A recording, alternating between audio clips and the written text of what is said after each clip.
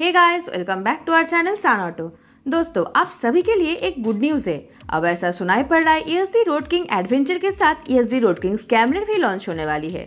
आप सभी को तो पता ही है क्लासिक लेजेंड्स 13 जनवरी को ईएसडी की फ़र्स्ट बाइक लॉन्च करने वाली है, जिसमें अब आपको रोड किंग एडवेंचर के साथ रोड किंग स्कैमलर भी लॉन्च होती हुई देखने को मिलने वाली है, जिसके कुछ स्पेसिफिकेशन और मैकेनिकल डिटेल्स हमारे पास आ चुका है, जो आज के इस वीडियो में हम आपके साथ शेयर करने वाले हैं। और साथ ही साथ हम ये भी जान लेंगे ये बाइक कितने प्राइस टैग के साथ लॉन्च होगी। इसलिए वीडियो को जो है अंत तक ज़रूर देखिए। लेकिन उससे पहले एक छोटी सी रिक्वेस्ट है। ये सभी इन्फॉर्मेशन हम आप ही के लिए कलेक्ट करते हैं। तो प्लीज़ वीडियो को एक लाइक कर दीजिए। ऐसे और भी इन्फॉर्मेशन पाने के लिए चैनल को सब्सक्राइब कीजिए।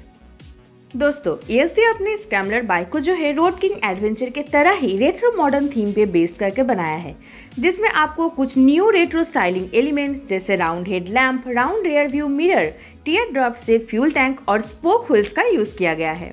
इसके अलावा दोस्तों, बाइक में आपको एक सिंगल पीस सीट देखने को मिलने वाली है, जिसके ऊपर रीप पैटर्न में डिज़ाइन किया गया है, जो बाइक को एक यूनिक लुक प्रोवाइड कराती है।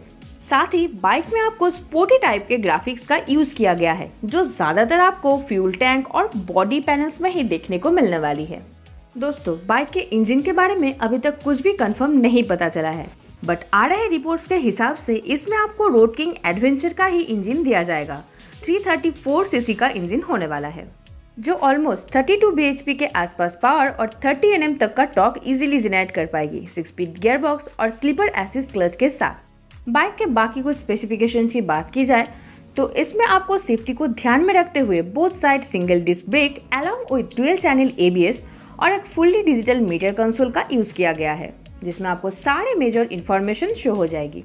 दोस्तों, अगर बाइक के सस्पेंशन सेटअप की बात करें तो इसके बारे में हमें टेस्टिंग के टाइम में पता चल चुका था कि इसके फ्रंट में कन्वेंशनल टाइप के टेलीस्कोपिक फ्रंट फॉक और रेयर में twin preloaded adjustable shock absorber का यूज़ किया गया है।